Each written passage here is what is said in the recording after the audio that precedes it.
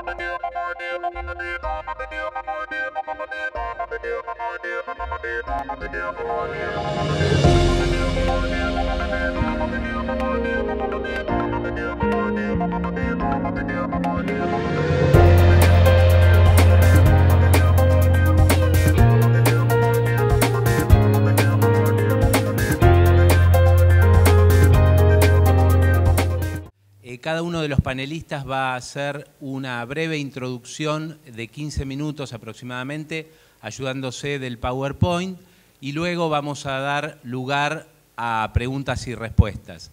Para hacer las preguntas tienen en eh, la contratapa del programa un lugar que dice notas, hay lapiceras disponibles y va a haber azafatas recogiendo las inquietudes de ustedes, las van a acercar acá a, nosotros para que podamos transmitirle las inquietudes a los panelistas. Eh, vamos a comenzar entonces con el doctor Rodolfo Barbieri. Cada uno de ellos se va a presentar y les va a contar un poquito eh, su experiencia y su ámbito de actuación. Buenos días, mi nombre es Rodolfo Barbieri, soy asesor legal de CUSICBA y de la Cámara Inmobiliaria Argentina y en este panel que me honra integrar voy a dar el enfoque del nuevo Código Civil y Comercial en cuanto al corredor inmobiliario y su actividad.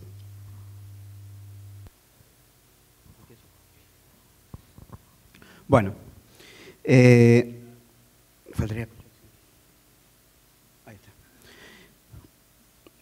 Lo primero y siguiendo un poco el temario que nos acaban de leer, eh, hablamos de mandato y corretaje. Eh, la figura a veces fue difícil de diferenciar para las jurisprudencias. El corretaje no es lo mismo que el mandato, no es lo mismo que la comisión. En el mandato y la comisión, o sea, el comisionista actúa por cuenta propia, o sea, actúa a nombre propio, perdón, pero por cuenta ajena. En cambio, el mandatario actúa este, eh, por cuenta ajena y por nombre ajeno. En cambio, en este, el corretaje estamos hablando de una persona que es intermediario, o sea que tiene una posición objetiva, objetiva e imparcial, mientras que los otros dos personajes tienen una eh, actuación que es parcial y subjetiva. Eh, digo que esto no estuvo siempre muy bien diferenciado por la mm, jurisprudencia, porque inclusive, de acuerdo al tenor que pueda tener el contenido de una autorización de venta o de alquiler, nos podemos llegar a encontrar que se está otorgando un verdadero mandato al corredor. Y la figura es importante destacarla porque no es, como dije antes, no es ni comisión ni es un mandato la, actividad del corredor, ni tampoco es una alocación de servicios, porque en la alocación de servicios no se promete un resultado, o sea, el resultado es independiente, es una obligación de medios para la persona que está prestando la alocación de servicios, salvo algunos supuestos. En cambio, en el caso del corretaje sí se tiene que obtener este, ese resultado, tanto en la ley 20.266, como en el nuevo código, se habla de que para eh, que exista el derecho de cobrar ese honorario, se requiere que eh, haya sido exitosa la gestión, es decir, que el negocio esté concluido. Entonces, lo primero que quiero decir es, ¿cuál es el contrato que se concluye? El contrato principal. Tenemos al lado el contrato de corretaje. ¿Qué quiere decir esto? El contrato principal es el negocio. Desde ese punto de vista, el contrato de corretaje es accesorio a ese contrato principal. En, las tres, en, los, tres, este, en los dos contratos hay tres etapas que podemos distinguir. Una etapa previa, una etapa de celebración y perfeccionamiento. Por eso ahí dice las partes perfeccionan. Y después una etapa que se la llama perfeccionamiento, pero está mal llamada así. Es la etapa de cumplimiento. Y del lado del contrato de corretaje tenemos también esas tres etapas. Entonces, viéndolo un poco a qué se refiere esto, es que en la etapa previa las partes no actúan. Las partes, eh, tanto vendedor como comprador, como locador o locatario, han recurrido, si estamos hablando de corretaje, a alguien que va a localizar a la persona o a la cosa y va a transmitir una propuesta y si es aceptada pone en contacto a las partes. Entonces, ¿quiénes concluyen el negocio? A diferencia del mandato, que justamente es lo que le decía, el que tiene que concluir el negocio es la parte. Las partes perfeccionan el, contrato directa y personalmente, lo celebran. Y en esa etapa es donde, como está concluido el contrato, nace el derecho a cobrar esa comisión u honorario. Y una tercera etapa sería la etapa de cumplimiento, que, por ejemplo, en la venta de un inmueble estaría dada con la escrituración, o sea, la escritura no se hace para vender o comprar en principio, sacando la nueva tendencia de ir directo a escritura. El boleto es el que se hace para vender o para comprar una propiedad. Eh, como aquí está agotada la función del corredor, acá sí puede actuar por alguna de las partes, si se lo solicitan. Acá va a poder ser mandatario.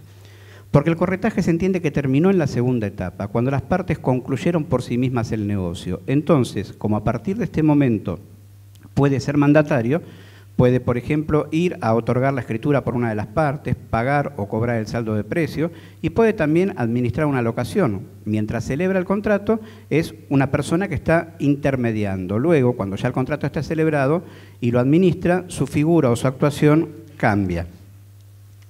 Eh, también puede dar fianza. Es decir, la, ley es muy clara, lo era la 25028 en las disposiciones que todavía se mantienen, que es la ley que modifica la ley de, martilleros y corredores, la 20.266, y lo es también el nuevo código cuando habla de este tópico.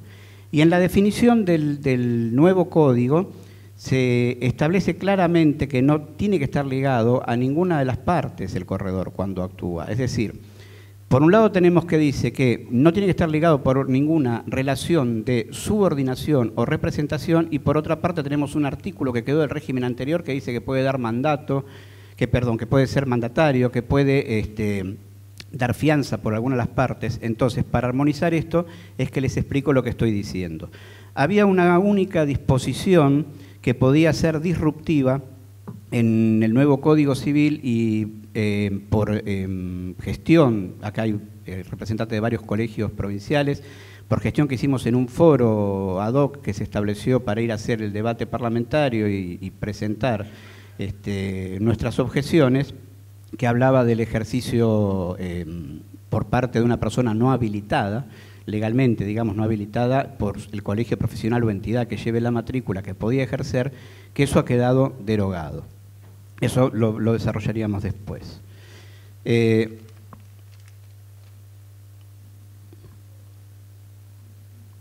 pasamos a la actividad del corredor en la reserva inmobiliaria, en la seña y en el contrato de locación y boleto de compraventa. En la reserva inmobiliaria lo más común es que la reserva sea referéndum. Esto no tiene, o sea, lo voy a pasar rápidamente y si después hay preguntas lo contesto, porque esto no, no tiene cabida en el viejo sistema legal ni tampoco en el nuevo es autonomía de la voluntad o autonomía privada. La reserva es una construcción, una construcción que se ha hecho para diferenciar a esta figura de la seña. ¿Y por qué digo diferenciarla?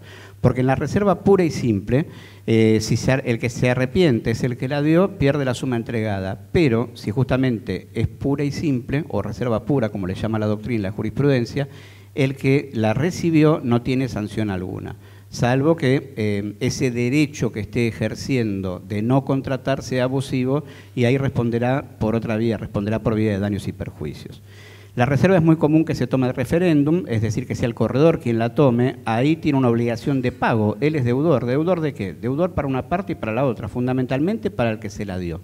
Para el que se la dio está obligándose a transmitirla a transmitirla en modo fehaciente a notificarle la suerte que corrió esa reserva en modo fehaciente también. Eh, esa es la responsabilidad que puede llegar a tener por la frustración y el arrepentimiento, porque la frustración y el arrepentimiento que puede llegar a venir del, negocio, o sea, por ejemplo, no transmitir una oferta a tiempo eh, o que resulte tardía, ¿no es cierto?, desde otro punto de vista, por, porque no se puede considerar que hay una aceptación tácita si no hay hechos que comprueben esa aceptación, todo eso va a responsabilizar al corredor. Por eso es muy importante la comunicación fehaciente de una aceptación al este, oferente y la transmisión de esa oferta a su comitente. Y cómo se suple la falencia, digamos, que habitualmente se da de poder notificar en modo fehaciente, porque habitualmente es un llamado telefónico diciéndole al oferente ya aceptaron la reserva o es un mail y luego el oferente deja vencer el término y hasta puede jugarle una mala pasada al corredor y decir que no le avisó a tiempo y pedir la devolución del dinero si no está interesado en la compra.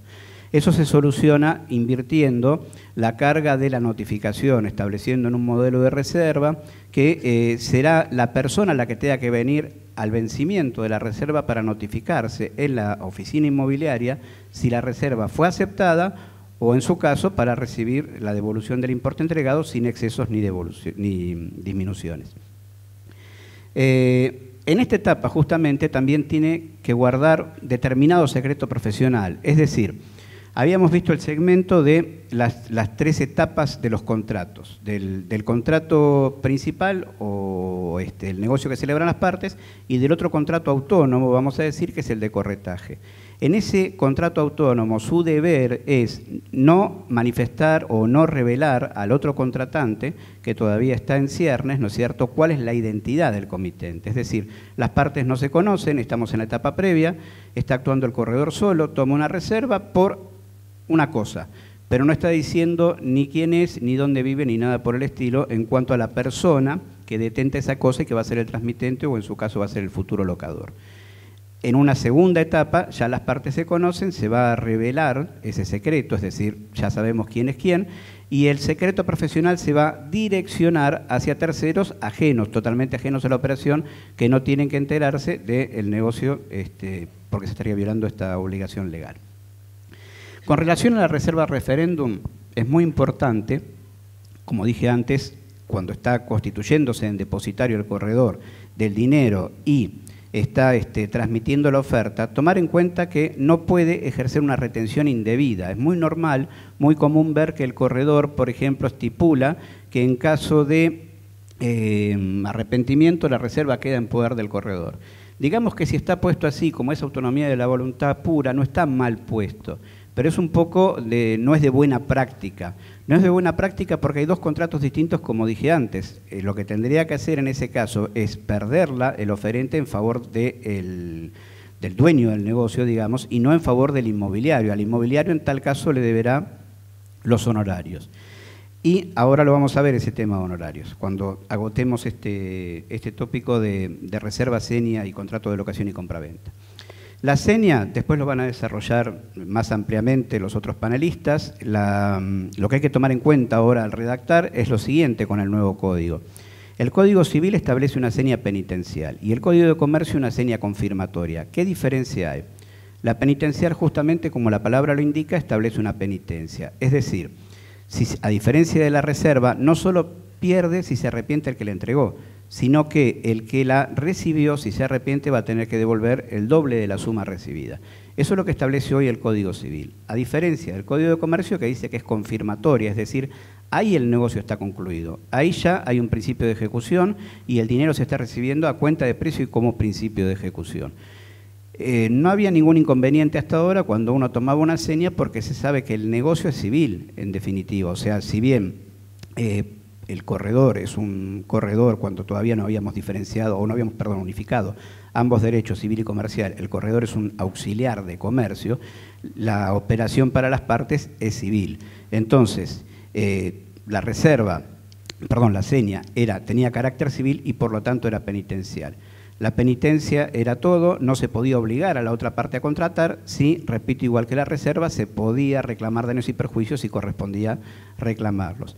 Ahora, al unificarse ambos, códigos, ambas figuras, tenemos un único artículo que habla de que la seña es confirmatoria, salvo pacto en contrario. O sea que si queremos seguir usando el instituto tal cual como lo veníamos usando hasta ahora, nos obliga a poner ese pacto en contrario, es decir, que las partes le dan el carácter penitencial o directamente poner la penitencia. Si se arrepiente va a pasar tal cosa, una u otra sujeto de la relación.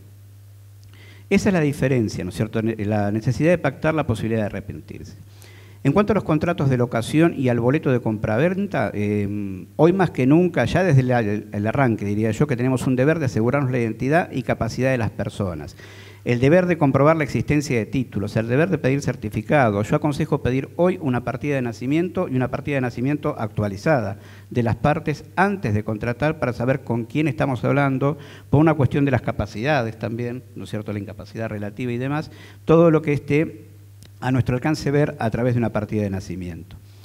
Y por último, ya cedo lugar a mis este, colegas, eh, en cuanto a honorarios y gastos, la regla en el viejo sistema para la ley este, de corretaje inmobiliario era que los gastos se debían. En tal caso, si no había pacto expreso, no se pagaban. Pero es al revés, es exactamente al revés. Si ustedes en algún supuesto quieren un reconocimiento de gastos, la ley no los va a amparar eh, per se para poder percibirlos, sino que los tienen que pactar expresamente. En cuanto a los honorarios, siguiendo el cuadro, tenemos que en la reserva no corresponden cobrarlos. En la seña, si la seña es penitencial, tampoco, salvo pacto en contrario en ambos casos. ¿Por qué? Porque el negocio no está concluido. La gran mayoría de los fallos jurisprudenciales entendieron que hasta que no concluya el negocio, repito, como dije al principio, porque hay una obligación de obtener un resultado, no corresponde entonces el cobro de esos honorarios. Pero la misma, el mismo Código de Comercio, ya derogado por la, la ley 25.028 en el año 2000, decía que, salvo pacto en contrario, o sea que, como estamos hablando de un contrato autónomo, las partes pueden independizarse de ese resultado, hasta inclusive hasta el caso fortuito se puede asumir, ¿no es cierto?, sin ningún tipo de problema, y aunque una operación, por ejemplo, esté sometido a una condición suspensiva, como sería el caso de la firma de ese otro instrumento definitivo, va a este, poder el corredor, si está pactado, cobrar esos honorarios. Y en el caso del contrato ya definido, como por ejemplo una locación o una compraventa, corresponde cobrarlo, ¿no es cierto? Tanto el tema de la comisión, pero no los gastos si no están pactados. Bueno, eh, por último, en cuanto a boleto, lo van a desarrollar después mis colegas, pero lo más interesante que me parece en cuanto a la normativa del Código Civil es eh, la determinación del precio y la posibilidad de la protección que pueda tener el comprador no solo en las ejecuciones colectivas. Con el viejo código, si la persona presentaba quiebra y había vendido por boleto y el comprador había pagado un 25% y estaba en posesión de la cosa, entonces este, podía llegar a evitar esos efectos nocivos de la quiebra y pedirle al juez la escrituración. Esto la jurisprudencia en los últimos años viene tratando de eh, tomarlo ante las presentaciones, las tercerías de mejor derecho que se llama de compradores por boleto o por una sesión, ¿no es cierto?, en una sucesión bien armada de sesiones de boleto, en el caso de que también estén bajo las mismas circunstancias, que hayan pagado ese porcentaje, que el boleto tenga fecha cierta, que tengan la posesión de la cosa, entonces se venía usando la norma, eh, o para analogía, digamos, mejormente, eh, de mejor manera, lo que era la disposición del Código Civil, porque no estaba establecido, solamente para las ejecuciones colectivas. En cambio ahora, tanto para las ejecuciones individuales como para las colectivas, existe esa protección. Bueno, nada más. Bueno, gracias Rodolfo. El material lo van a tener disponible, después se lo vamos a enviar. Igualmente, los que quieran hacer preguntas las pueden hacer por escrito e ir entregándosela a las azafatas. Eh, seguimos con Nicolás Escarano. Nicolás, presentate. Hola, buen día a todos. Gracias Mario. Agradezco la invitación al panel y a compartir con, con estas personas amigas ya de la casa. Bueno, mi nombre es Nicolás Escarano, soy escribano, hijo de Claudio, que integró el panel anterior, nieto de Adolfo. Ya estamos em, cumpliendo 66 años este año de la escribanía y eh, la idea que tenemos en estos 15 minutos es desarrollar diferentes institutos un poco en forma generalizada, ¿sí? Y bajarlos a la práctica teniendo en cuenta em, los cambios introducidos en el código unificado. Acá está.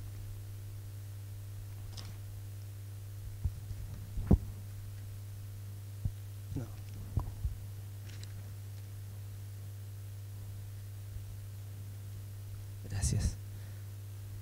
Ahí está.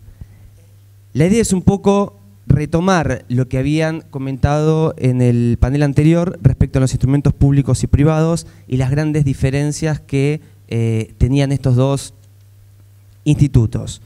Los instrumentos públicos son las escrituras públicas y las copias de testimonios y también todos los instrumentos que extiendan los escribanos o los funcionarios públicos según los requisitos de las leyes. ¿sí?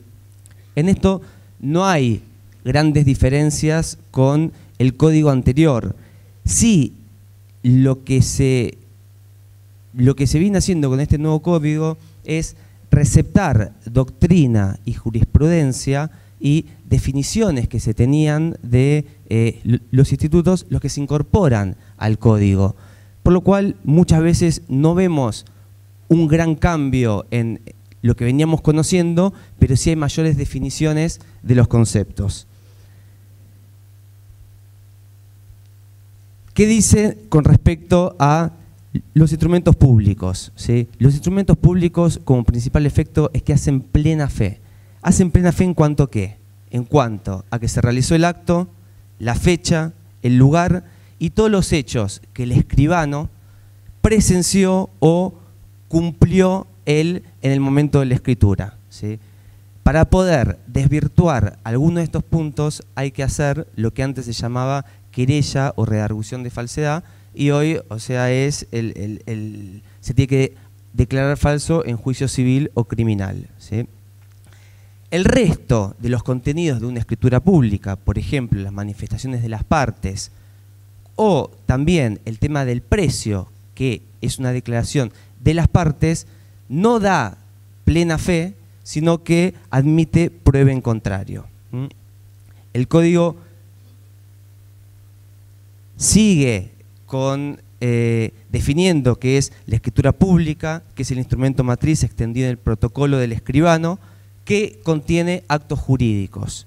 Define también lo que es el protocolo del escribano, que antes no, no estaba expresamente definido en el Código Civil y se recepta de la Ley 404 que teníamos nosotros los escribanos en el ámbito de la ciudad. Los requisitos para la escritura pública eh, siguen siendo los mismos que antes. El escribano tiene que recibir las declaraciones por sí, tiene que calificar el presupuesto del de, eh, acto jurídico que se le presenta y darle eh, forma legal.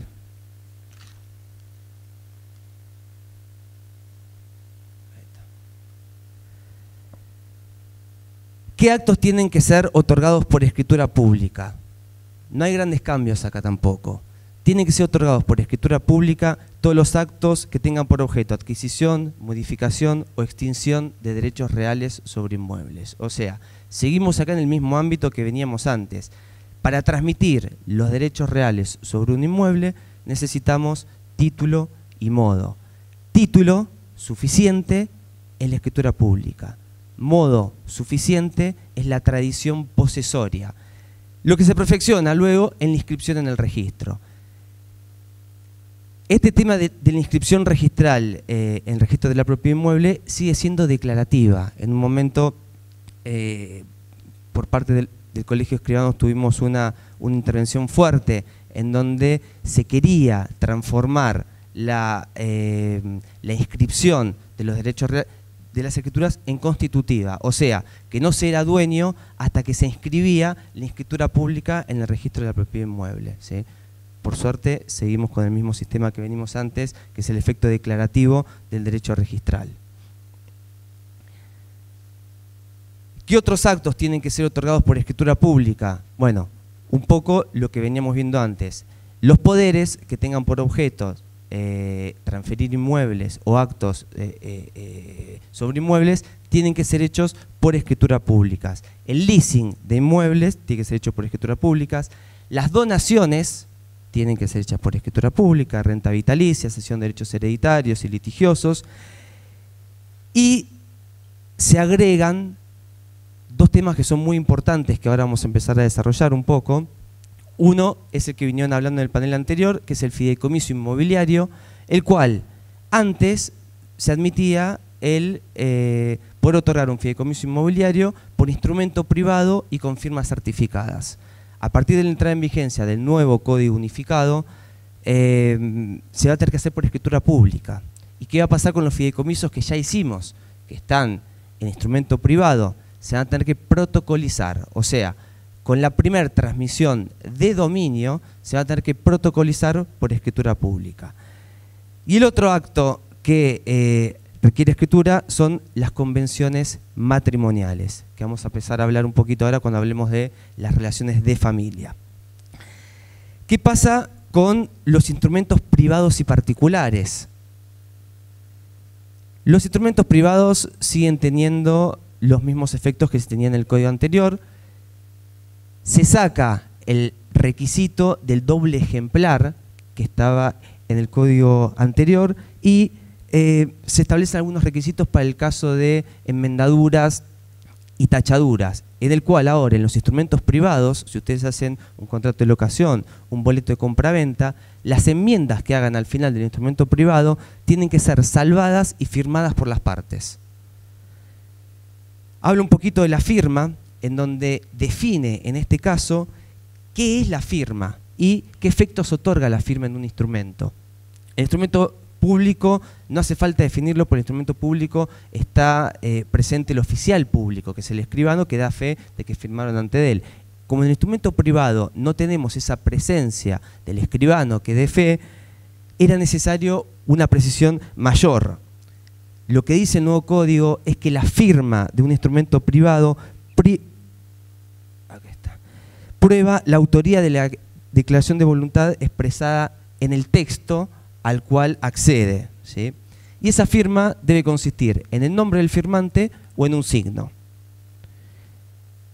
Habían hablado en el panel anterior de la posibilidad de firmar mediante la impresión dígito pulgar. Eh, hay, algunas contradicciones en la redacción del nuevo código en donde se admite la impresión dígito pulgar en los instrumentos privados, pero esa impresión no le equivale a la firma. O sea, que el que suscribe poniendo su huella dactilar no, eh, no ratifica el contenido de lo que está firmando. ¿sí? Y se tiene como principio de prueba por escrito. Se admite también otro tipo de principio de prueba por escrito, es cuando la persona em, no firma y hay dos testigos que dicen que leyó el documento y puso la huella dactilar. Sería una suerte de la firma ruego que se tiene en las escrituras públicas que ahora se contempla para los instrumentos privados y lo hacen eh, eh, y lo hace posible, pero con este requisito de que el efecto no, eh, no, no prueba la autoría de la voluntad del documento al que accede.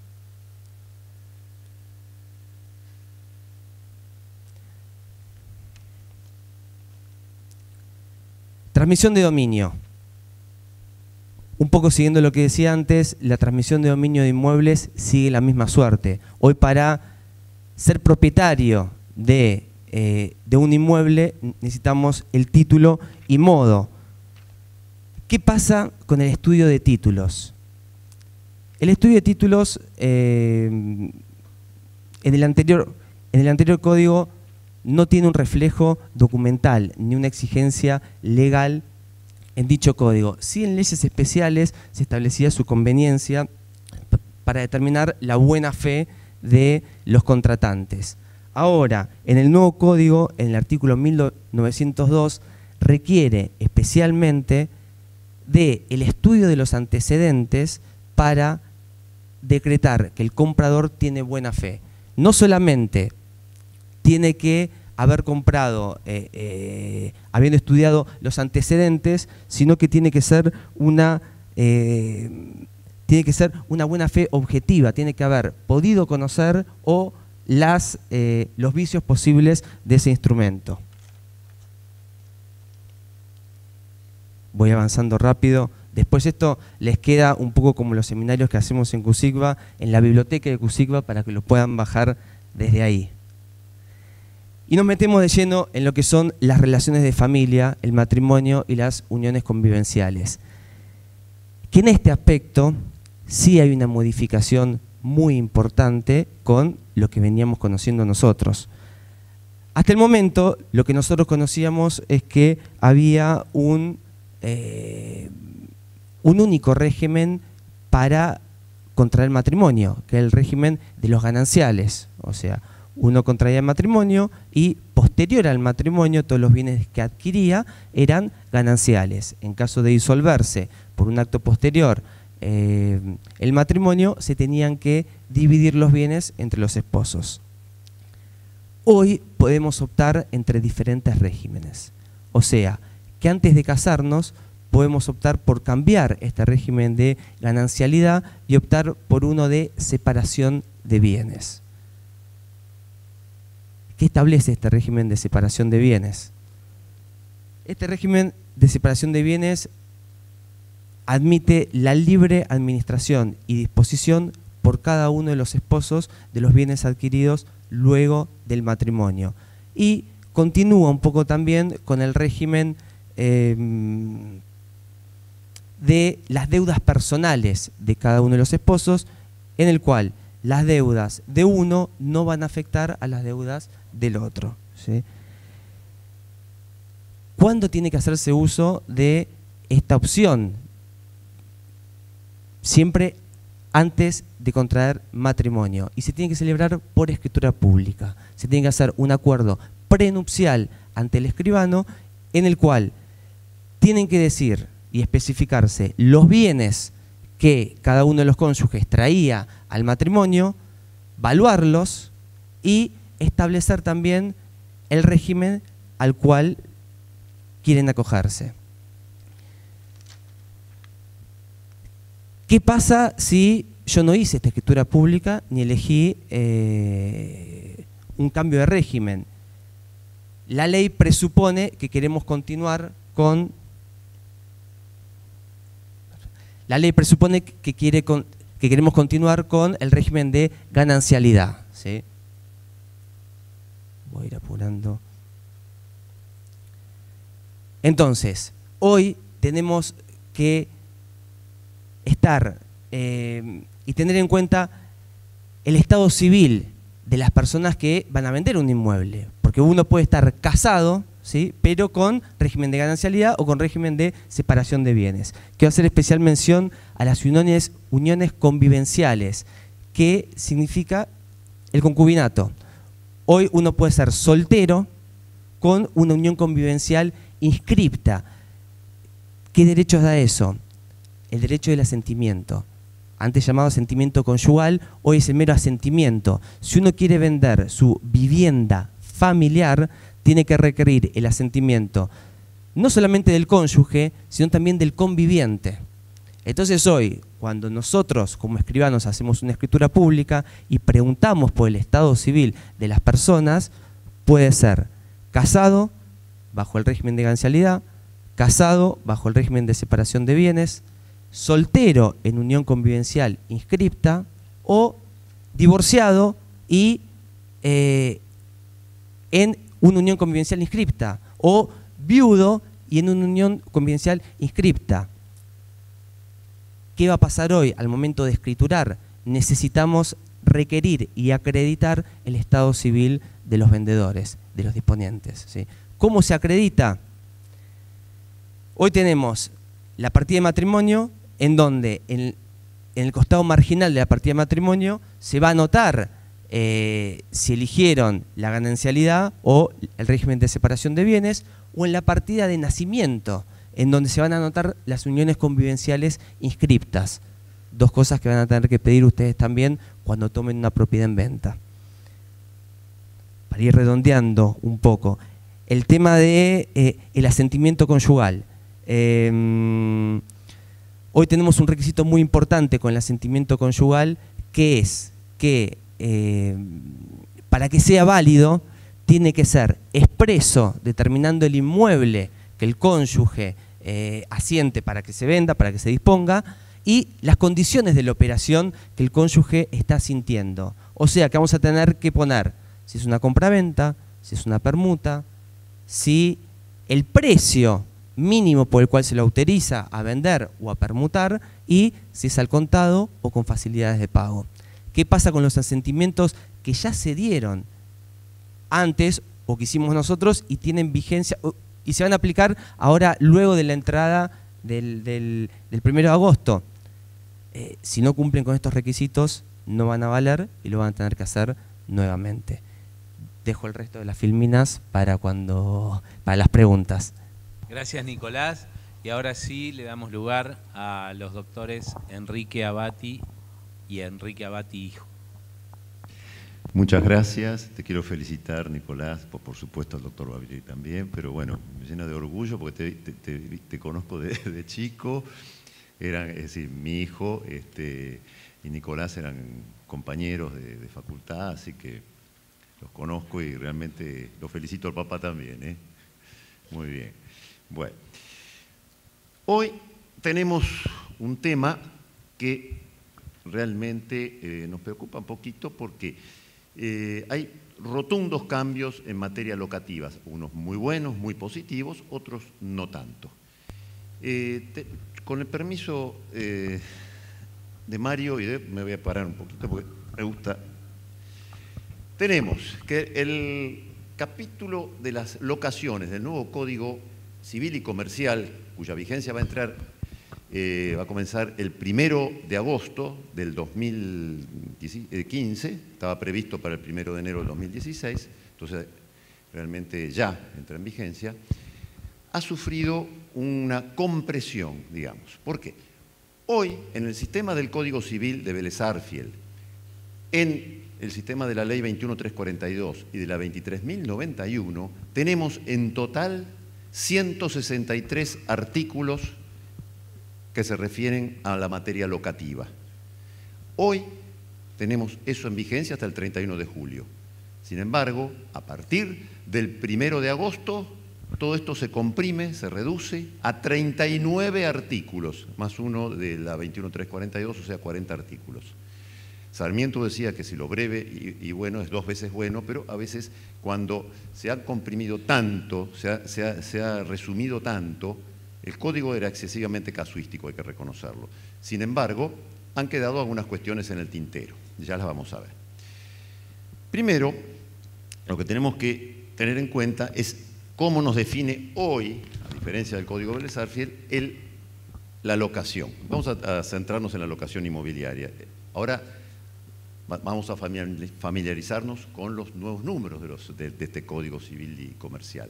Es el 1187, que dice que hay contrato de locación si una parte se obliga a la otra al entregar a la otra el uso y goce de un inmueble y esa parte, o sea, sería el locatario, a pagar por ello un precio en dinero. Bueno, ahí ya les adelanto, después eso lo va a desarrollar mi hijo, el tema de las locaciones en dólares, que ya no puede haber más locaciones en dólares. Bien, pero sí referidos a la cantidad necesaria de peso para comprar los dólares en un mercado determinado. Eso podría ser, lo va a desarrollar Enrique. Bien, una novedad, la forma de los contratos. Hasta ahora la ley 23.091 decía que tenían que ser por el artículo primero, hecho por escrito, y en caso dejaba abierta la puerta a la locación verbal que tantos dolores de cabeza nos ha traído. Entonces, esto se acabó. Ahora el contrato debe ser hecho por escrito, así lo dice el artículo 1188, al igual que sus prórrogas y modificaciones. Esta es la novedad. Entonces, basta ya de invocaciones verbales, prórrogas verbales, rebajas de alquiler verbal, etcétera, etcétera. Destino. Tenemos una novedad.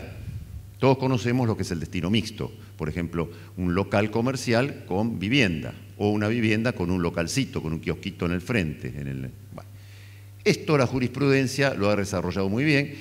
Eh, la ley actual de locaciones, es decir, la 23.091 no lo contempla, sí lo contemplaban las viejas leyes de emergencia en materia locativa y la jurisprudencia ha desarrollado este tema.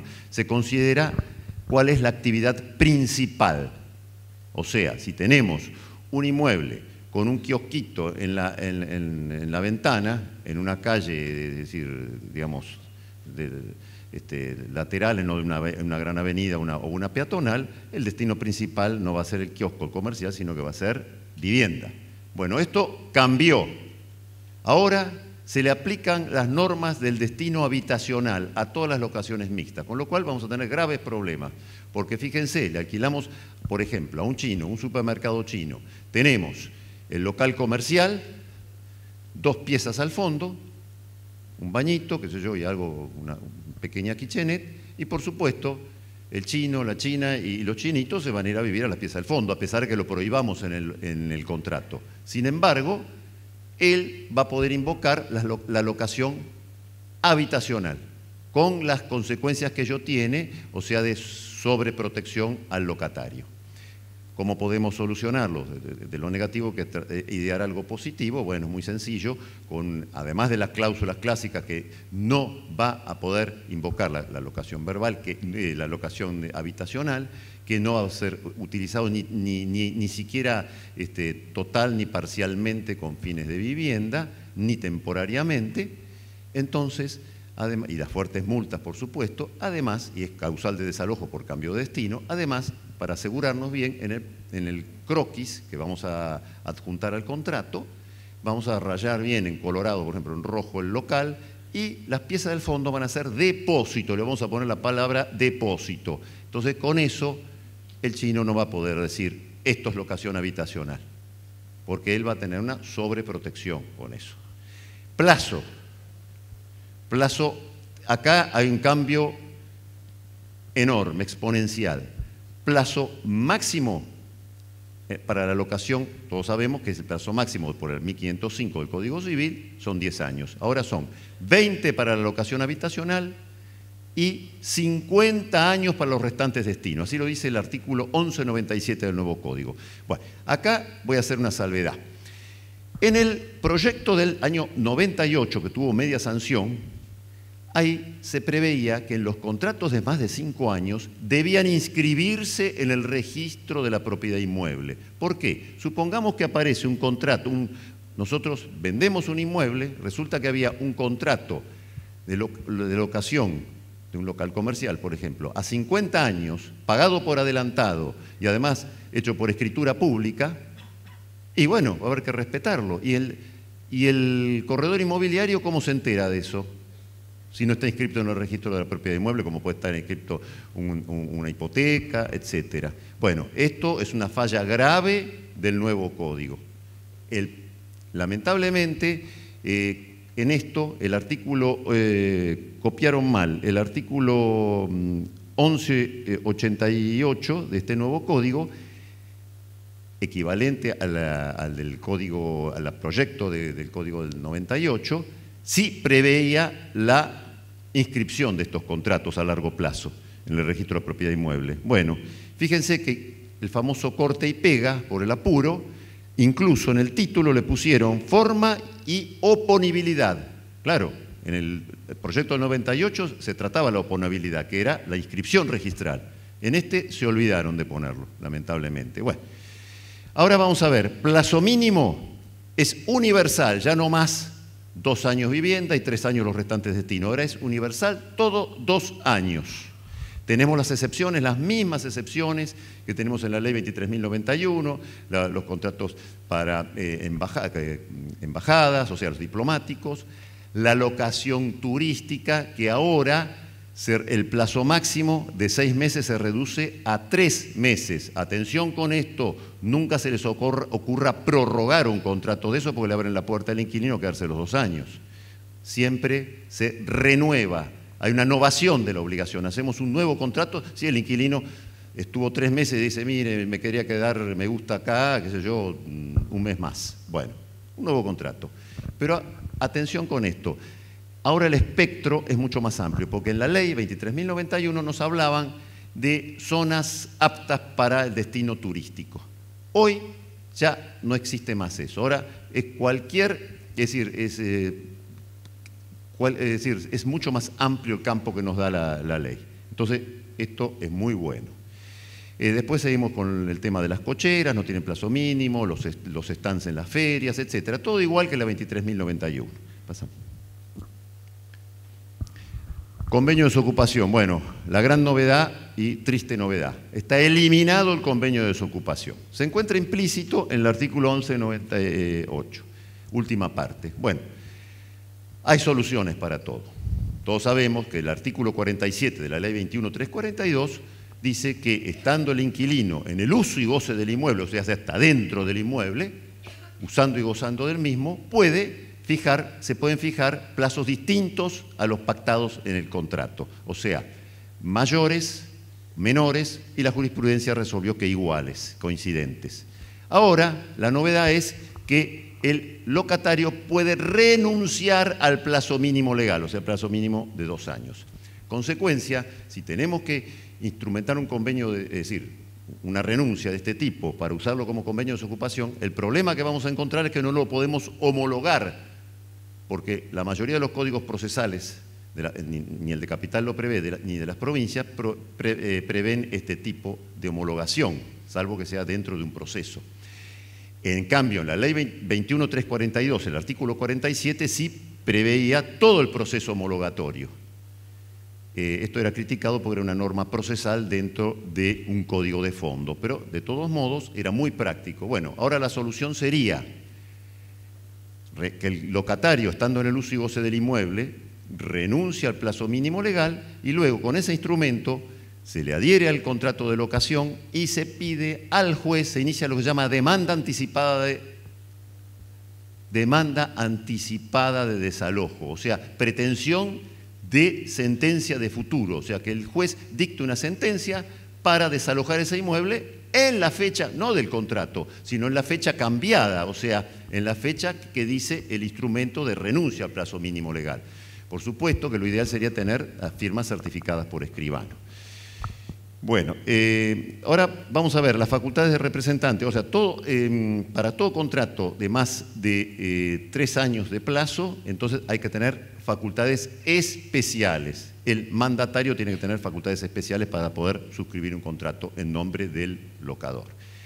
Luego, la resolución anticipada. Eliminación, es decir, sigue todo igual que el artículo octavo de la ley 23.091, o sea, las mismas multas, o sea que después de los seis meses puede renunciar el locatario sin expresión de causa al plazo mínimo legal, pero se eliminó el preaviso de los 60 días, ya no hay más preaviso de 60 días. O sea, el locatario nos dice, mañana me voy y se va.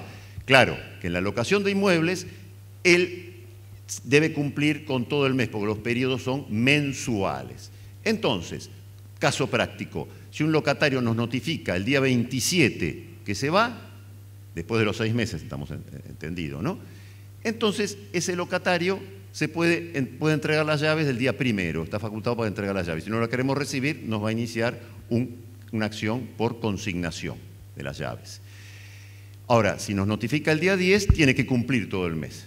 Esto realmente es criticable porque nos deja, es decir, calculen, algún locador que contaba con ese alquiler para, qué sé yo, pagar la, cuota del seguro médico, para, pagar la, escolaridad de los hijos, ya se terminó el tema. Entonces se va cuando se le da la gana y sin preaviso. O sea, tiene que notificar formalmente, por supuesto. Luego vemos la intimación de pago, otra novedad. Destino habitacional únicamente. Todos conocemos lo que dice el artículo, hola Armando, el artículo quinto de la ley 23.091 establece, y esto es de orden público, que tenemos que, en caso de vencido los dos meses, o de un mes si lo pactamos así en el contrato, porque el artículo 1579 no es de orden público, o sea, el, para poder iniciar el proceso de desalojo tenemos que intimarlo al inquilino por 10 días corridos, dice. Bien, ahora esto es solamente para la vivienda, los restantes destinos no hace falta. Si llega el día 11, el inquilino no pagó los alquileres, o sea, pasaron los dos meses, el día 11 del segundo mes, el día 11 le estamos iniciando la demanda de desalojo sin haberlo intimado previamente. atención con esto, voy a hacer una salvedad. El código, como es el código civil, un código de fondo, civil y comercial, habla de días corridos, pero en la práctica podemos llevarnos una sorpresa. Un inquilino muy avispado, con el debido asesoramiento, lo va a poner en mora al locador. ¿Por qué? Porque va a ir a las 2 de la mañana de un día domingo, que seguramente, si por ejemplo estamos en los casos de inmobiliarias que administran alquileres, no hay nadie en la inmobiliaria ese día entonces lo va a intimar de pago, es decir, lo va a intimar a que reciba el, dinero. Entonces le va a constituir en mora locador, la mora del acreedor se llama esto. Entonces conviene siempre intimar días corridos, no días corridos, días hábiles y dentro de un horario de tal a cual hora. Ya la jurisprudencia ha dicho, como se limita el horario, porque tampoco, como los plazos en derecho se cuentan en derecho de fondo se cuentan desde la 0 hora a la hora 24, no estamos atornillados en el, sillón de, la inmobiliaria las 24 horas, entonces se le extiende un par de días más, así lo ha resuelto la jurisprudencia. Entonces le ponemos 15 días hábiles. Total, la diferencia en un juicio de desalojo, esto no, no es nada, es una gota de agua en el río de la Plata. Vamos a ver las obligaciones del locador y del locatario. Prácticamente tenemos las mismas entregar el inmueble, el locador tiene la obligación de entregar el inmueble en perfecto estado de conservación, salvo, esto no es de orden público, salvo pacto en contrario, puede entregar, lo que no figura, y que sí figura en el, Código de Vélez Arfiel, es los inmuebles en ruina. Pero la práctica, como no está, es decir, esto lo, hace, la, práctica va a suceder exactamente lo mismo, como no es de orden público, podemos alquilar un inmueble en ruinas donde el locador le dice al locatario, bueno, arregle todo, eh, es decir, cambie las cañerías, arregle los techos, todo, etc. No hay ningún inconveniente con esto. Eh, luego viene el conservar el inmueble para el uso convenido, eh, pagar las mejoras, es decir, el locador las, las únicas mejoras que tiene que pagar son las necesarias, las necesarias para que el inquilino habite el inmueble y cumpla su destino el inmueble. Pero esto tampoco es de orden público, salvo pacto en contrario. Podemos también hacerle cargo al inquilino que pague las mejoras necesarias. Recordemos, las mejoras son las necesarias, las útiles para el inquilino, que esas son de, de, de utilidad únicamente para el inquilino, esa no tiene por qué pagarlas el locador, y además las suntuarias o de mero lujo, también para el inquilino. Eso no tiene por qué pagarlas el locador. Luego, la, novedad es este, la pérdida de luminosidad del inmueble. esto es, eh, el Código Civil de Vélez se preveía que si el inmueble se volvía oscuro por construcción de fincas linderas, entonces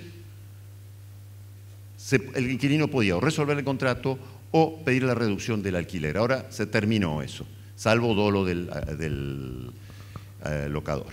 Obligaciones del locatario, bueno, las mismas.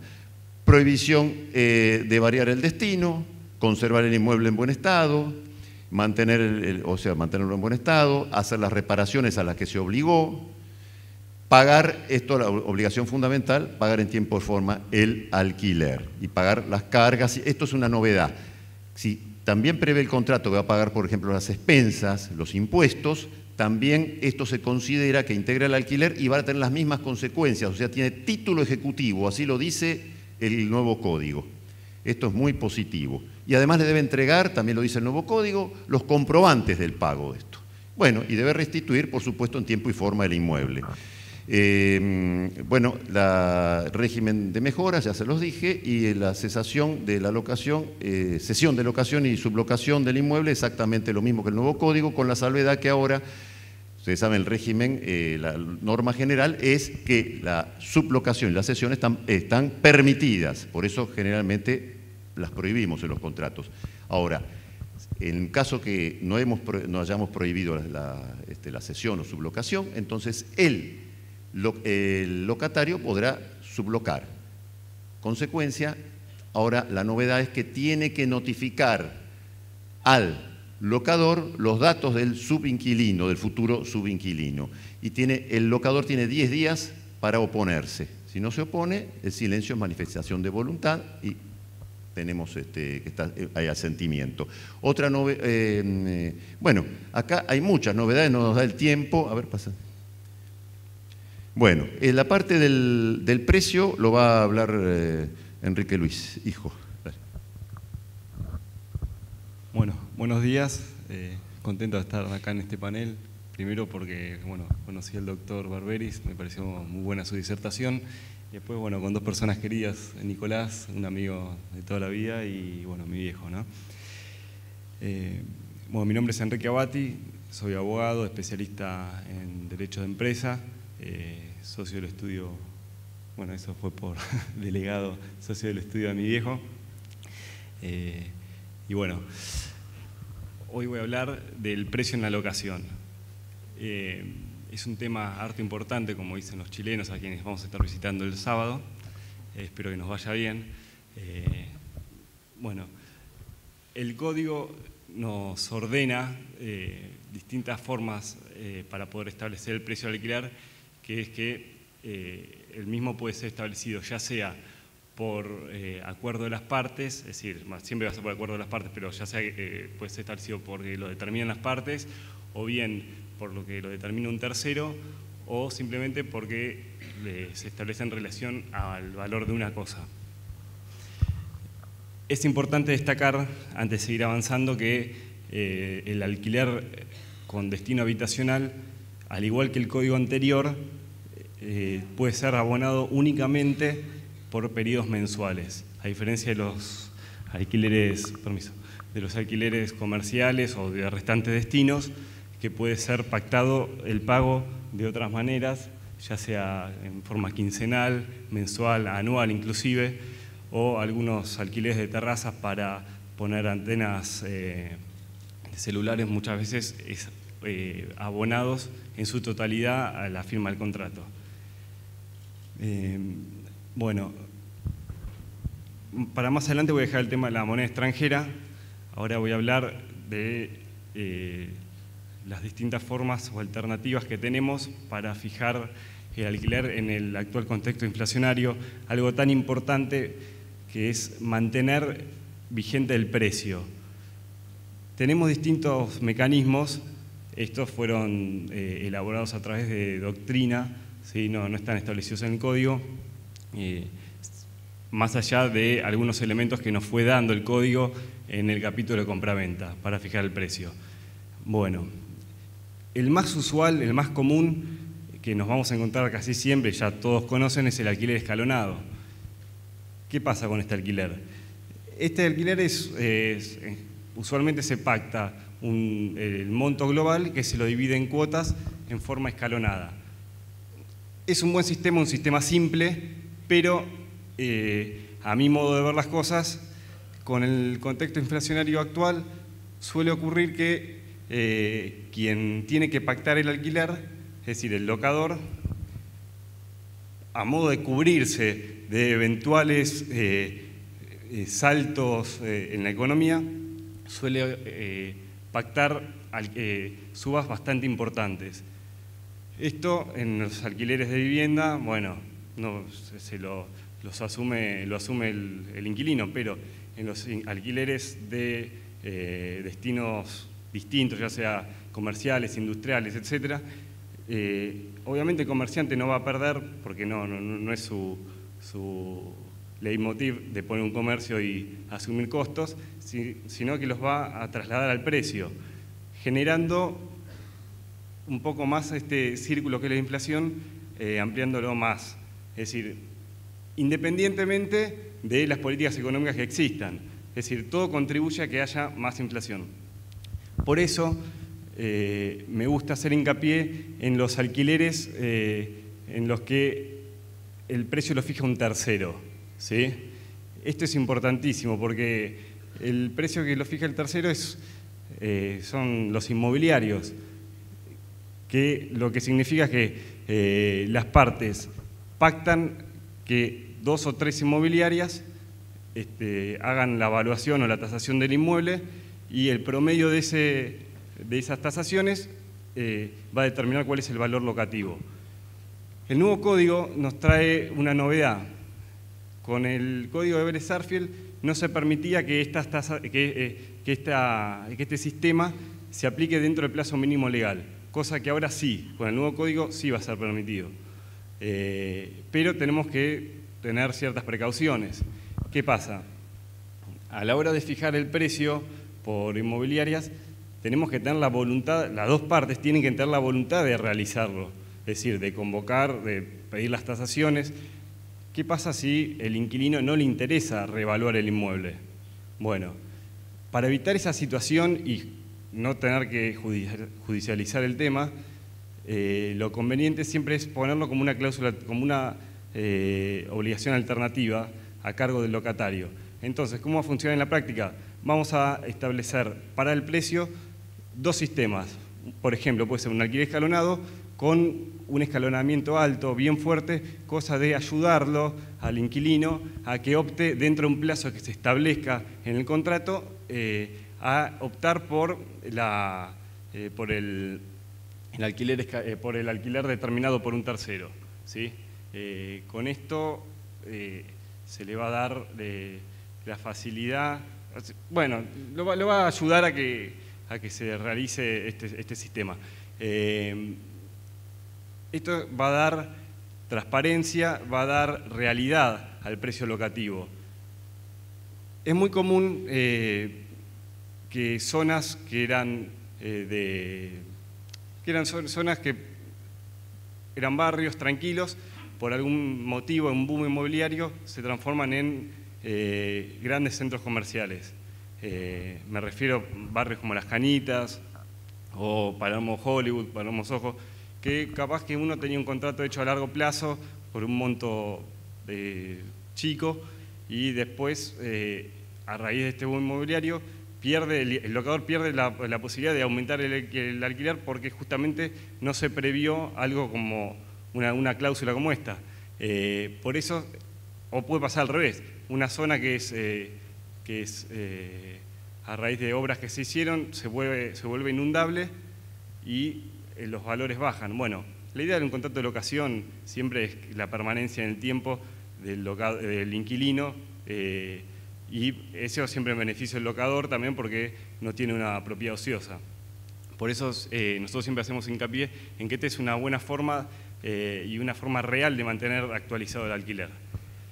Otra forma de mantener actualizado el alquiler y que si bien no va a dar un valor de mercado eh, constante, sí va a mantener actualizado el alquiler en función a, los, a la suba general de los índices de precios. Recordemos que sigue vigente la provisión de indexar, ¿no? Por eso es que hablamos de todos estos sistemas para poder eh, realizar la actualización del precio. bueno, tenemos el pacto cuotativo.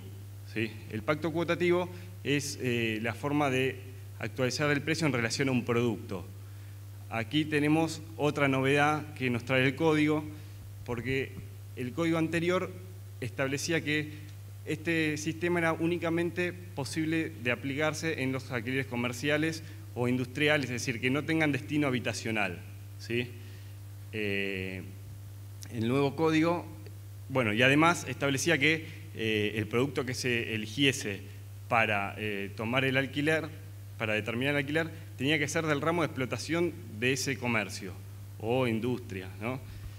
Bueno, eh, actualmente, como nada dice el código, lo que no dice está permitido, ¿sí? eso es una máxima del derecho, eh, lo, que, no está prohibido está permitido, podemos establecer este, este, sistema de fijación de, actualización del precio incluso en los destinos habitacionales. Eh, es muy común en los cafés o en los bares establecer el precio de alquiler en relación a una determinada cantidad de eh, pocillo de café. Eh, es importante dejar en claro que la redacción de la cláusula tiene que decir que el precio va a ser la cantidad necesaria de pesos para adquirir un determinado producto en un determinado mercado y ser bien casuístico determinar bien el producto, el mercado, el precio, eh, el precio no se va a estar dando por, el valor, ¿no? pero eh, del producto que va a ir variando, pero eh, como decía, el mercado, el, producto, determinar la calidad, la cantidad, ¿sí? nos ha tocado asesorar a supermercados, a la, en realidad al locador que le alquilaba a un supermercado, que era el inquilino, y bueno, ahí nos, es interesante porque nos vamos viendo eh, uno se va dando cuenta de las ayudas que quiere hacer cada, cada parte. ¿no? Eh, obviamente, cuando se utiliza este sistema, el inquilino del supermercado pretendía utilizar eh, productos sometidos a los precios cuidados, que, bueno, no, todos saben que no, no aumentan mucho. por eso utilizamos productos que no sean de primera necesidad y hacer un conglomerado de productos, no uno solo, para evitar cualquier... Y esto es ya para las dos partes, ¿no? para que ningún producto suba mucho ni ningún producto eh, baje poco y de esta manera eh, hacer algo más homogéneo. Bueno, también nos ha tocado una vez que bueno, mucho no pudimos ayudar porque ya el contrato es ley para las partes, nos vino, esto era en modo anecdótico, ¿no? nos vino a consultar una persona que eh, había redactado el contrato él mismo, no estaba mal redactada la cláusula porque justamente decía que era la cantidad necesaria de pesos para adquirir. Bueno, ¿qué pasó?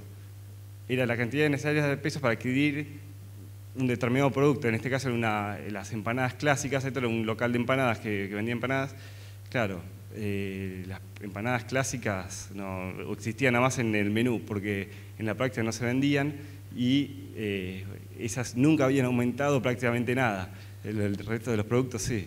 Así que bueno, el alquiler no se, había quedado casi estancado. Era, pero bueno. Y tenemos eh, un, otro sistema para fijar el precio, que este es un sistema muy interesante, es una construcción muy interesante que eh, eh, se compone de dos elementos, un elemento fijo y un elemento variable. El elemento fijo es eh, una suma predeterminada, una suma estable, que es un piso menor del cual no se puede pagar, al cual se le adiciona un porcentaje de, puede ser ventas, ganancias, facturación. Esto se suele manejar con cadenas eh, grandes de supermercados o de comida rápida. tiene que ser un, comercio o una industria, puede ser también, en el que sepamos que tienen la contabilidad en orden y la llevan en orden y es su voluntad llevarla en orden. que soporten una auditoría, porque obviamente entre las, eh, las, cláusulas de protección que se ponen para el locador, son auditorías que se pueden realizar en forma periódica. Eh, y bueno, justamente es un, sistema eh, interesante, lindo para trabajar, que nos va a mantener actualizado el precio. como había dicho, la indexación está, no está permitida, pero nunca está de más eh, poner alguna clausulita por ahí medio perdida en el que permita que en caso que eh, se levante la prohibición de indexar, eh, se puede utilizar uno u otro, u otro índice. Hemos visto en algunos contratos, sobre todo en contratos de construcción, que se utilizan los índices de la construcción, pero de la Cámara Argentina de Construcción, a ver, se puede poner como obligación alternativa también eso, eh, es decir, poner un alquiler escalonado y, eh, y eso para el caso que se levante eh, la prohibición de indexar o que las partes lo puedan utilizar y al momento que, no que alguna de las partes lo objete y lo quiera judicializar, bueno, directamente en realidad se va a empezar a utilizar el sistema de alquiler escalonado y ya con eso vamos solucionando cualquier tipo de problema que pueda llegar a, se pueda llegar a suscitar. Em, bueno, ya... Eh, si hay preguntas, eh, por favor nos las hacen llegar. Igualmente me adelanto, pero seguramente una inquietud que tiene todo el auditorio es el tema de eh, pactar alquileres en dólares, ¿no? Ya que viene hablando justamente de este tema Enrique, sería bueno comentarnos un poco el, el panorama. Gracias, Mario. Los alquileres de moneda extranjera, en realidad el sistema eh, es un poco... Eh, vino a modificarse bastante. ¿Qué pasó? El artículo 765 vino a establecer que la moneda extranjera es una obligación de dar cosas, ¿sí? a diferencia de obligaciones de dar suma de dinero como estaba establecido en el código anterior lo que se choca con la definición que da el código de lo que es el, eh, contrato de locación que exige que se den sumas de dinero. Bueno, eh, entonces eh, estaríamos ante un imposible que es contratar en sumas de, en moneda extranjera. Es decir, que, el, que el, alquiler sea, el precio del alquiler sea 3.000 dólares. Pero podemos, se le encuentra la vuelta y como yo había hablado del el canon cuotativo, es decir, eh, fijar el precio en relación a una cosa y, eh, como dije recién, en el 765, eh, ahora las, obligaciones en monedas extranjeras son obligaciones de dar cosas, entonces vamos a fijar el precio para, o sea, vamos a asimilar el dólar como una cosa, entonces vamos a decir que el precio del alquiler va a ser la cantidad necesaria de pesos para adquirir X cantidad de dólares en determinado mercado, ¿sí? Eh, y ahí se establece, bueno, podemos poner, ya, puede ser el, dólar oficial, es decir, el mercado cambiario argentino, el tipo de cambio comprador, vendedor, lo que se establezca, al día, de, al día eh, el tipo de cambio se va a tomar el día en que se cancela la obligación, o que eso puede ser el mercado cambiario uruguayo. Eso es lo que eh, adopten las partes. Bueno, ahí tenemos un ejemplo de la cláusula. Eh, así que bueno. Bueno. Bueno, gracias Enrique. Eh, una pregunta para Nicolás, que estuviste hablando un poco del tema de, la, de la vivienda. ¿Qué se entiende por vivienda familiar en el nuevo Código Civil y Comercial? Hola, hola, ahí se escucha mejor. El nuevo código tiende a proteger eh, la vivienda familiar. Lo que pasa es que no se especifica, no se define qué es la vivienda familiar. se cambia el concepto de, eh, del bien de familia, en el sentido que se deroga la ley actual de bien de familia y queda incorporado el Instituto de Bien, de, bien de Familia en, eh, en, el código, en, en el código no llamándolo bien de familia, sino vivienda familiar.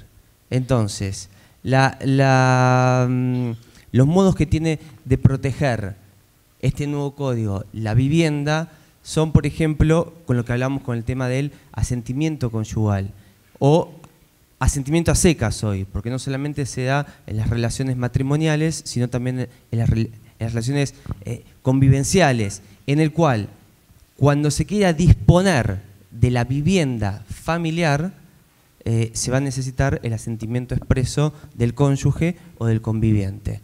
Eh, lo que no está en claro hoy es eh, cómo sabemos nosotros que se trata de la vivienda familiar si no está afectado a lo que denominaríamos el bien de familia.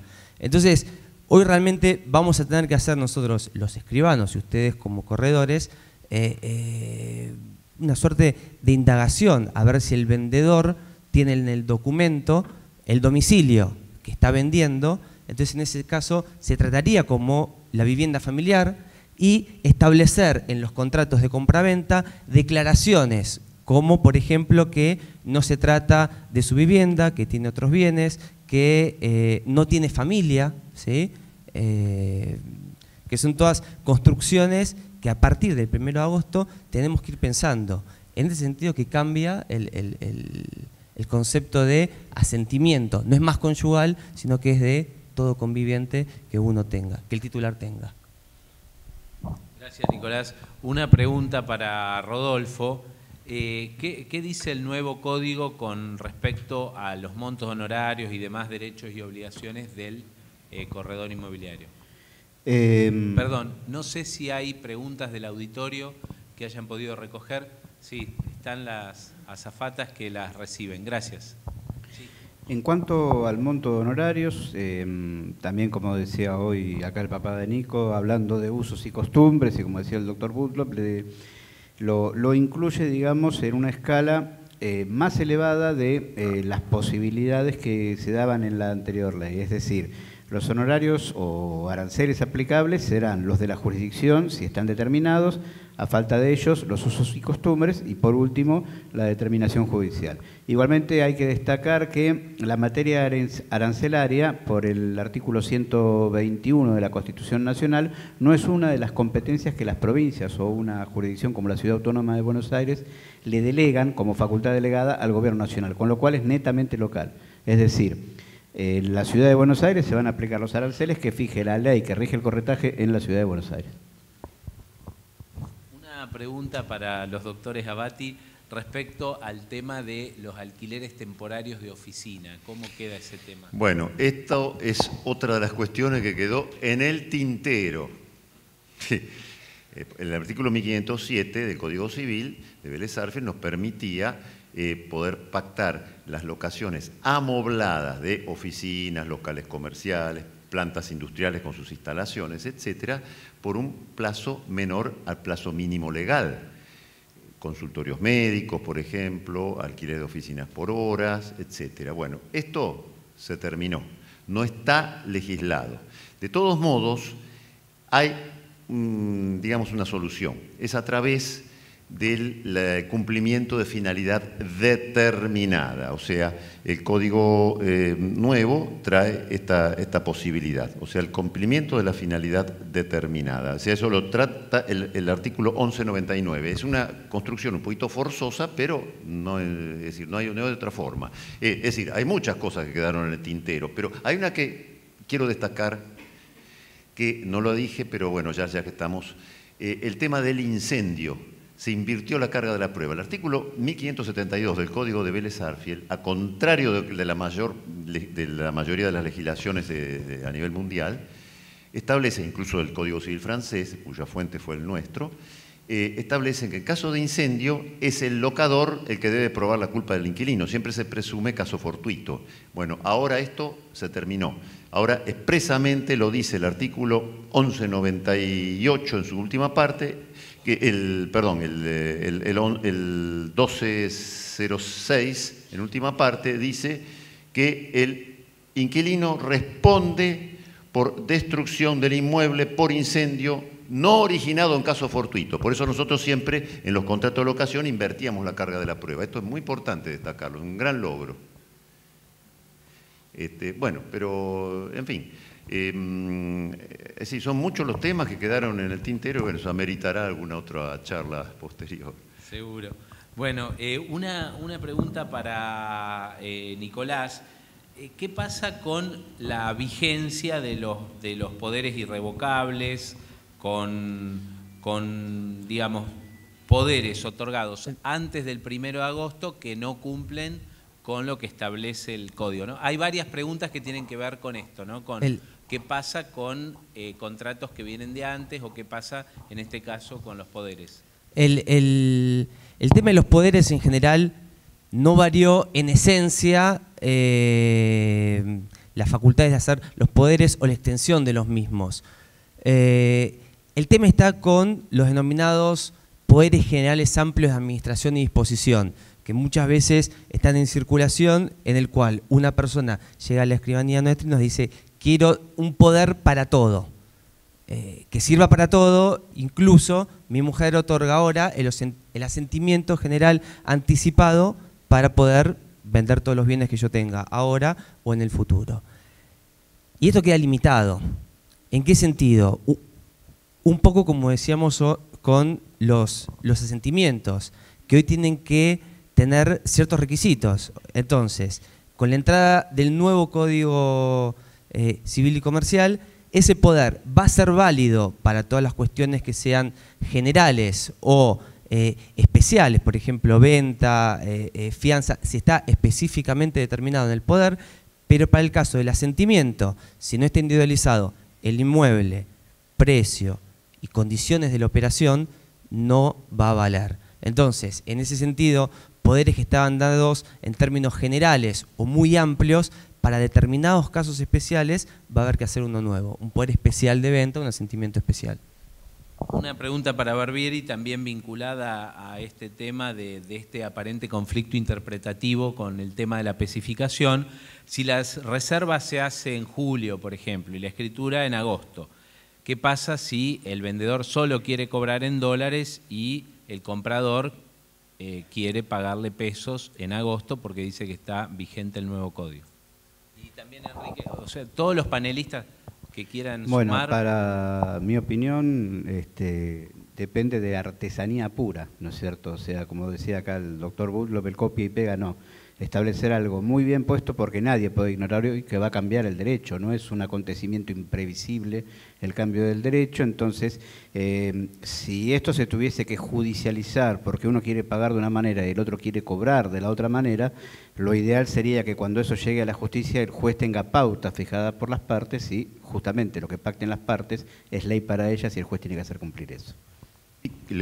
Siguiendo la línea de pensamiento tuya, correctísima, quiero agregar que eh, el tema de las obligaciones alternativas, porque mm, eh, el, artículo 765, en realidad, hay una parte de la doctrina que ya adelanta que es de orden público, otra parte adelanta que, no es de orden público. Personalmente nosotros pensamos que no es de orden público. Entonces, supongamos, tanto en una locación como en una, una compraventa, podemos pactar, eh, por un lado, el dólar va a ser cosa, si es una compraventa se convertiría en, una permuta, pero está latente el peligro de que el deudor, o sea, el comprador, invoque la última parte del artículo 765 y diga que va a pagar en dinero corriente. Esto, para aventar este, este, este peligro, podemos incluir una cláusula alternativa en los boletos diciendo pero elección, las obligaciones alternativas pueden ser elección del deudor o del acreedor. Acá sería la elección del vendedor, que en caso que no posea los dólares que supuestamente dice poseer, todos ponemos siempre la cláusula esa en los boletos, que la cantidad suficiente de, dólares, billete para cancelar el saldo de precio, el día de la escrituración, etcétera, etcétera. ¿no? Bueno, entonces, como alternativa, en, caso que no los posea, por una circunstancia fortuita, entonces tendrá que el comprador tendrá que poner a disposición del, eh, del vendedor la cantidad suficiente de pesos para que el vendedor adquiera los dólares, o sea, 100 mil dólares, en el mercado cambiario de Montevideo, según, cotización del Banco Central de la República Oriental del Uruguay, que es www.bcu.gov.uy, en el día anterior a la operación. Entonces, eso lo, chequeamos por la web, es la cotización del peso argentino contra el dólar americano, que ese es el verdadero valor del dólar, no el del Banco este, Central nuestro o del Banco Nación, ese es el verdadero valor. Pero acá Además le vamos a agregar para que el, deudor trate de, llevar los dólares billete, le vamos a agregar que deberá pagar más un porcentaje, por ejemplo, del 7, el 8, el 10% para gastos varios de transferencias, viáticos, etcétera, sin rendición de cuenta. Esto es importantísimo para que él comprador no le puede exigir rendición de cuenta. A ver, usted se, a ver, los gastos de transferencia, todo, usted se tomó el buque bus y más vale que nadie, va a poder ir con, con 1.300.000 o 1.400.000 pesos en, en, la valija a comprar los dólares a Montevideo. Eso se soluciona de otro tema. Y por último, otra alternativa más, que es que tendrá que poner a disposición del, este, del vendedor la cantidad suficiente de pesos para que el vendedor compre bonos de la deuda externa argentina nominados en dólares, ponemos por ejemplo Bonar, lo que fuere, para que vendidos en el mercado o de Montevideo o de Nueva York produzcan los dólares pactados en el boleto. Esas son las tres alternativas. Incluso ya con el cepo cambiario hay muchos fallos de esto. La mayoría de, los fallos, el, problema es cómo estaban redactadas las cuestiones de las escrituras, por ejemplo en la, escritura de mutuo con garantía hipotecaria o los boletos. El tema viene con que si en la escritura nada decían, y bueno, el deudor ahí iba a invocar fuerza mayor, hoy artículo 514 del Código Civil de Vélez, iba a decir, bueno, yo no puedo comprarlo, va con un escribano al, banco donde tiene fondos suficientes para comprar los 100 mil dólares, por ejemplo, depositados en su caja de ahorro, pero al cambio oficial y va a decir, yo a mí no me lo venden, porque obviamente el cajero no se los va a vender, va a ir a la FIP del, domicilio, es decir, del domicilio de la agencia que corresponda a su domicilio, le van a decir lo mismo, nos le autorizamos la, este, la operatoria. Sin embargo, ya hay dos fallos, uno de Capital Federal y otro de San Isidro, el primero fue de San Isidro, los dos del año pasado, que establecieron la escritura no decía nada, decía que tenía que pagar dólares billete para cancelar la escritura. Bueno, acá los jueces interpretaron que nunca el deudor está impedido de conseguir los dólares. ¿Por qué? A través de la operación del famoso contado con liquidación, o sea, contado con líquido. O sea que él puede ir a, un agente de bolsa, puede ir al banco, que haga operaciones bursátiles, y comprar los bonos para que vendidos en Nueva York produzcan los dólares suficientes. Así fueron esos fallos. O sea que esto es muy interesante. Pero a futuro Recomendación, poner obligaciones alternativas. incluso los alquileres, que ya no se pueden hacer en dólares por la propia definición del artículo 1197 del nuevo código, pero porque es, el alquiler es en dinero, en dinero corriente, pero es si se puede soslayar eso y en la práctica va a ser un alquiler en dólares o referido. Esta puerta, les cuento, esta puerta eh, la dejó abierta, que se olvidaron de reformarlo, porque el artículo 765, el proyecto original del doctor Lorenzetti, era lo mismo que el 617 y 619 actuales, que la moneda extranjera era considerada como moneda de curso legal y además quien se obligaba en moneda extranjera cancelaba la obligación únicamente con la moneda pactada en el contrato. Bueno, ahora esto lo cambiaron porque la idea era especificar todo, especificación universal de las obligaciones, una cuestión ya mm, de tinte político, por razones de soberanía, dijeron en algún momento, las exposiciones de motivo. Bueno, estamos en el, siglo XXI, un mundo, es decir, globalizado, no sé qué tiene que ver esto, ¿eh? porque esto era, era, la redacción original, el 765 era prácticamente la redacción original del 617 de Vélez en el año, cuando lo redactó entre 1867 y 1869, en la época de la carreta, que no existía ni el ferrocarril. Pero vuelvo al tema original.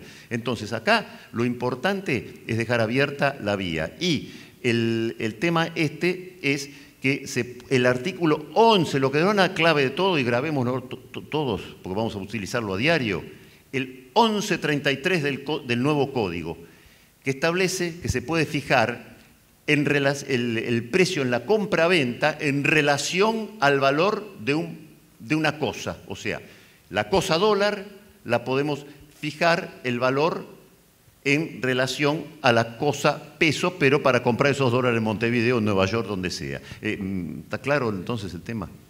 Muy bien. Bueno, muy claro, muy, muchas gracias a los cuatro disertantes. Nos quedaríamos toda la tarde, pero estas contradicciones que presenta la vida con profesionales del derecho nos desalojan porque hay que dar lugar a la nueva conferencia que sigue.